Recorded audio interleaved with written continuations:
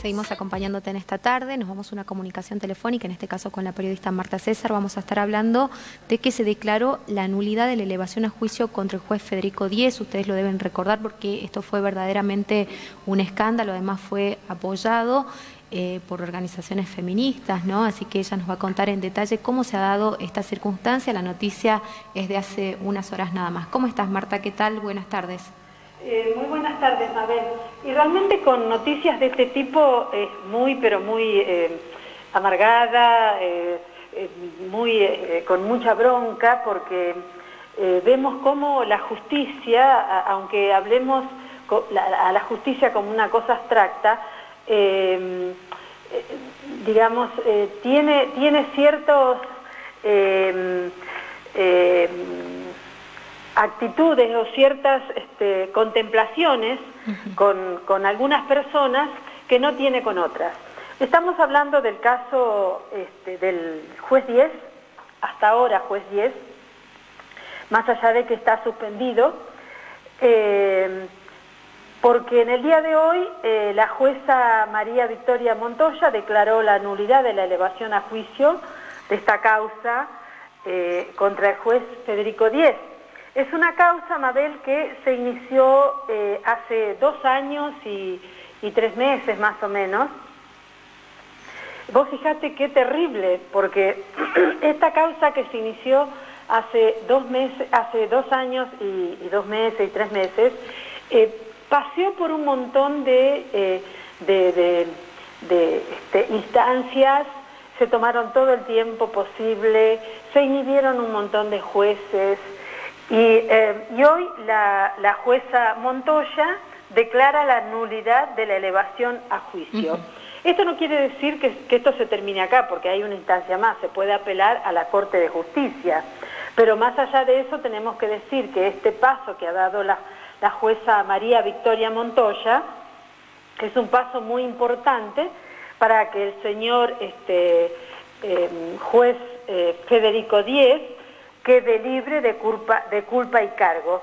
Quiero decir que esta causa se inició em, en el año 2016 con la carátula 10 Federico sobre lesiones agravadas por la relación preexistente y por constituir violencia de género, artículo 89 en función del artículo 92 y 80, inciso 1 y 11 del Código Penal, desobediencia judicial porque eh, la víctima sostiene y tiene testigos que aun cuando se le dictó una medida restrictiva, el caballero eh, este, se fue hasta la casa de la víctima o pasaba permanentemente o estacionaba el auto frente a la puerta, como, como, una medida quizás... Este, como para eh, amedrentarla.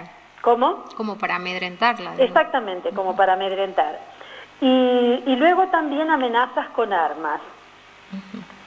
Eh, ¿En qué fuero se desempeñaba Díez, Marta? ¿Cómo? No sé si lo recordás. ¿En qué fuero se desempeñaba este hombre que decidía sobre la vida de muchísimas personas, no? juez del Tribunal de Juicio Sala 7. Es un juez que estuvo hasta, hasta que eh, fue tan escandaloso esto que tuvieron que suspenderlo, pero mientras tanto él siguió emitiendo fallos por, eh, por las mismas causas por las cuales él este, había sido denunciado. Eh, esto ha tenido, ha estado pero plagado de irregularidades. Eh, realmente la, no sabemos los motivos por los cuales la jueza María Victoria Montoya declaró esta nulidad de la elevación a juicio, pero porque esto ha sido reciente, ni siquiera la querella ha sido este, notificada pero de todos modos es algo para repudiar porque lo tremendo es que este hombre, el juez este, eh, hace poquito tiempo nomás eh, eh, hizo una contradenuncia, después de dos años, hace una contradenuncia contra la víctima de que él había sido víctima de violencia.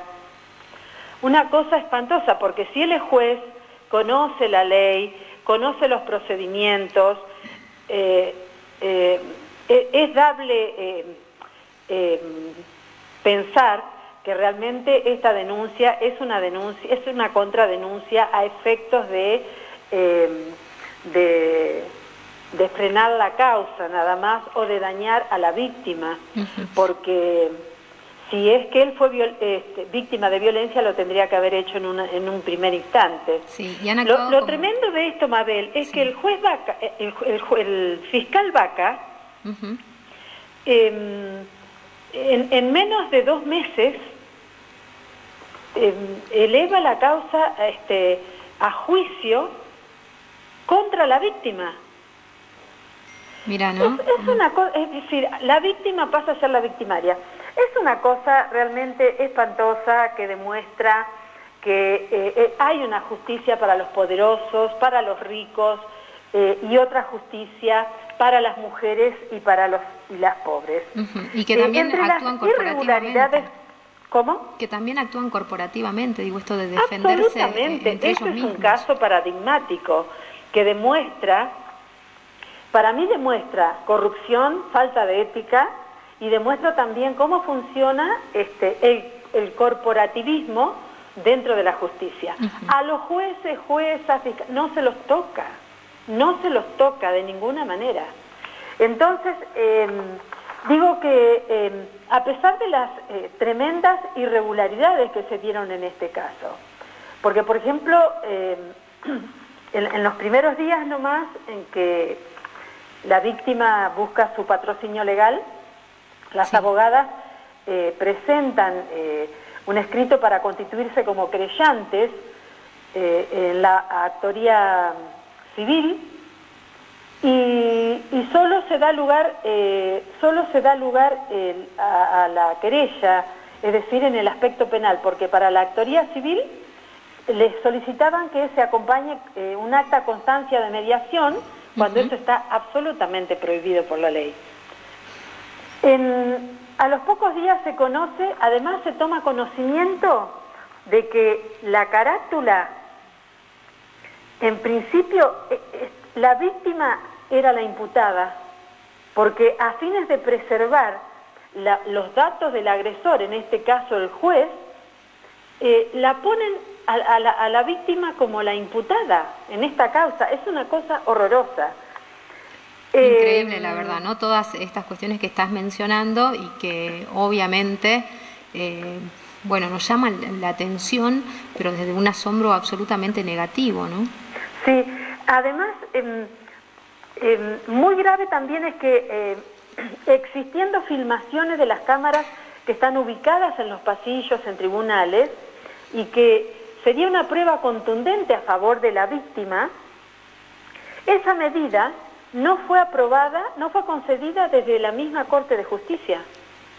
No, no, no aceptaron que esa, que esa, que esa filmación, donde se veía lo que la víctima afirmaba, que había sido víctima de violencia, que había estado discutiendo con, con el juez, eh, no lo aceptó la propia Corte de Justicia. Ahora, ¿qué herramientas puede tener una mujer, digo cualquiera, y más una mujer que se tiene que enfrentar contra semejante poder, ¿no? Porque, eh, como decíamos recién, eh, acá este hombre tiene todo el respaldo, no solamente por su posición económica, sino por su posición jurídica, ¿no? Así es. bueno, es, ese es el estado de desprotección del, del general de la ciudadanía. Cuando hay, eh, eh, Mabel, cuando hay mujeres, eh, he visto mujeres pobres que han cometido por allí algún tipo de delito, no esperan dos años, tres años, para nada, te lo hacen en 24 horas y en un juicio abreviado este, te imponen una, pena este, de muchísimos años, rigurosa, eh, sin ningún tipo de problema, pero aquí se tomaron todo el tiempo posible para al final tratar de buscar algún canal para salvar a este juez y poner y dejar a la víctima porque el juicio contra la víctima continúa.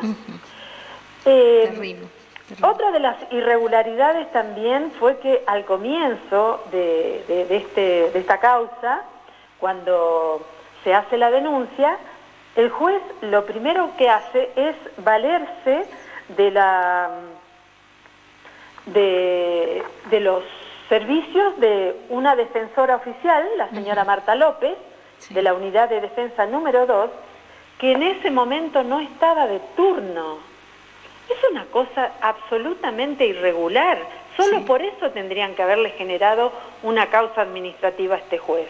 Pero pasó de largo, a nadie le llama la atención que un juez eh, denunciado em, solicite los, los servicios de una defensora oficial que no estaba de turno. Increíble, la verdad. ¿Y eh, cuántas personas, decime Mabel, cuántas personas pueden tener acceso a ese privilegio? Sí, claro, claro.